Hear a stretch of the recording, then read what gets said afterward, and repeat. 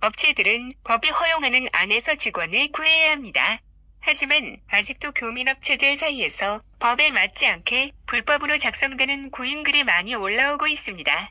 첫 번째, 구인 광고에 남자 직원이나 여자 직원을 특정해서 올리는 것은 불법입니다. 1977년 인권법이 통과된 이후로 특정 직책의 남성 또는 여성 지원자를 지정하는 것은 불법입니다. 두 번째, 비정규직으로 알려진 캐수얼 고용계약 또는 기간제 고용으로 불리는 fixed 고용계약이 아닌 이상 시급과 holiday pay 8%를 지급할 수 없습니다. 하지만 특히 한인업체들의 구인 광고를 보면 일반적으로 일하는 시간이 고정되어 있는 풀타임과 파트타임, 근무하는 시간이 일정하지 않고 바뀌는 shift 고용계약을 하고 있음에도 불구하고 여전히 holiday pay 8%를 준다고 많이 올라오고 있습니다.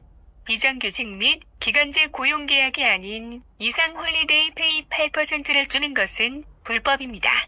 고용부 정부 사이트에 안내되어 있는 글입니다. 제한된 상황에서 일부 직원은 매년 4주간의 연차 휴가를 제공받는 대신 정규급여로 총 수입의 8% 이상의 비율로 휴가 수당을 받을 수 있습니다. 다음과 같은 경우에만 가능합니다. 만약 직원이 12개월 미만의 진정한 기간제 계약으로 고용된 경우 또는 직원이 간헐적으로 또는 비정규적으로 일하여 고용주가 연차 4주의 휴가를 제공하는 것이 비실용적인 경우 캐시잡은 고용주가 직원에게 세금을 제하지 않고 현금으로 임금을 지급하는 형태입니다. 캐시잡에 대해서 많은 사람들이 불법으로 생각하고 있습니다. 하지만 캐시잡 자체는 불법이 아니지만 세금을 내지 않으면 불법이 됩니다. 거의 모든 사람들이 세금을 내지 않을 목적으로 현금을 받기 때문에 통상적으로 캐시잡을 불법이라고 말을 합니다.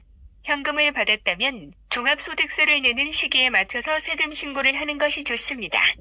캐시잡을 하고 세금을 내지 않았을 때의 위험 부담. 세금을 내지 않고 캐시잡을 할 경우에 걸리면 벌금은 최대 150%입니다. 상습범인 경우 최대 5,000달러의 벌금 또는 5년형을 선고받을 수 있습니다. 시청해주셔서 감사합니다. 좋아요와 구독을 눌러주세요.